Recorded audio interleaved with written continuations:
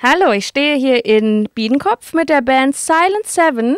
Ähm, die Jungs haben 2010 und 2011 dick beim Deutschen Rock- und Poppreis abgeräumt, haben einige Gigs gespielt in den letzten Jahren in ganz Deutschland und sogar 2010 eine EP veröffentlicht. Sagt doch mal, wer ihr seid und was ihr macht in der Band. Ja, ich bin der Roman, ich spiele Gitarre und ja. Und ich bin der Dietrich und ich spiele auch Gitarre. Der Jan am Schlagzeug. Und der Björn am Bass. Nun heißt ja aber Silent Seven. Wir sind ja aber heute nur zu viert. Wo ist der Rest?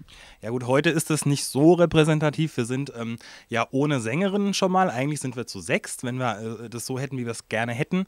Ähm, das rührt daher des Silent Seven, dass wir 2006 auch mal so hätten zählen können, dass wir sieben gewesen wären in der Gründungsphase.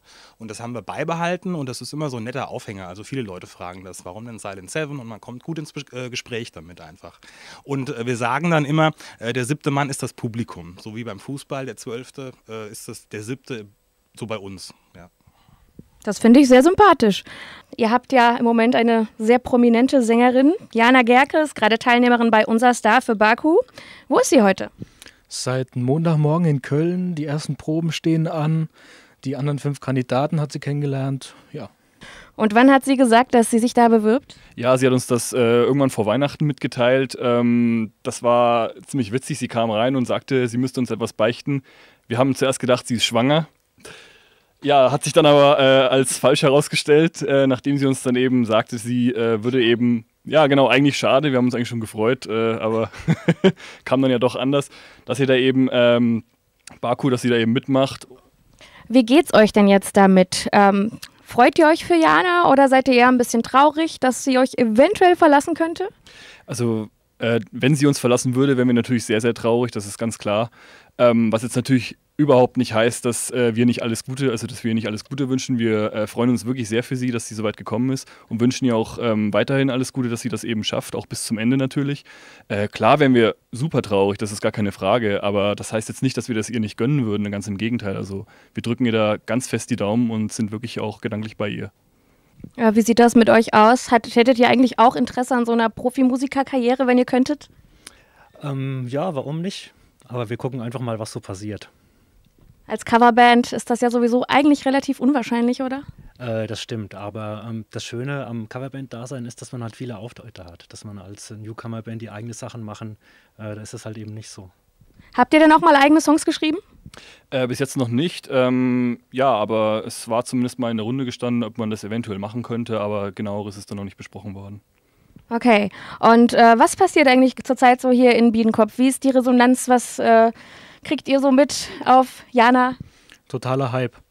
Äh, unsere Internetseite hat normal am Tag so 40, 50 Aufrufe gehabt. Am Wochenende nach dem Donnerstag 3000. Ähm, Gästebucheinträge bei Facebook, fast 100 neue Klicks. Ähm, Fanshop-Bestellungen haufenweise. Ich muss ständig Pakete packen. Ich bin nur noch bei der Post. Die kennen mich schon mittlerweile. Ähm, Zeitungen natürlich überall in der Region. Also Jubel, Trubel. Und wie sieht das bei euch aus? Wie verfolgt ihr so die Sendung? Ähm, also wir waren mit einer kleinen Abordnung da am letzten Donnerstag. Das war natürlich schon äh, interessant, überhaupt das Ganze mal zu sehen, wie das hinter den Kulissen abgeht und äh, natürlich äh, dabei zu sein, wo Jana diesen großen Erfolg hatte. Jetzt am Donnerstag fahren wieder ein paar hin und äh, die anderen werden das am Fernsehen äh, beobachten, denke ich mal, ja. Da kann man wenigstens auch anrufen dann. Und das geht im Studio nicht? Das geht im Studio nicht, da kriegt man alles abgenommen. Jacke, Schlüssel, Handys, äh, bis aufs Portemonnaie muss man alles leider an der Garderobe lassen. Ja. Das ist ja auch interessant. Also wir von Campus TV gucken das auch kollektiv am Donnerstag und drücken Jana auf jeden Fall ganz dolle die Daumen. Ähm, jetzt habt ihr eigentlich sowieso schon so ein kleines Problem, denn euch fehlt ohnehin eine Sängerin. Ähm, wie sieht das aus? Wollt ihr gerade einen kleinen Aufruf starten? Ja, gerne. Ähm, gerade aus der Region Marburg haben wir sehr wenig Bewerberinnen gehabt. Ähm, Im Dezember ist unsere zweite Sängerin ausgestiegen, die Kata. Und jetzt suchen wir eh schon äh, Sängerinnen. Alle bewerben. Wir wollen gar nicht viel äh, vorher erzählen, einfach bewerben. Was suchen wir dann schon selbst aus?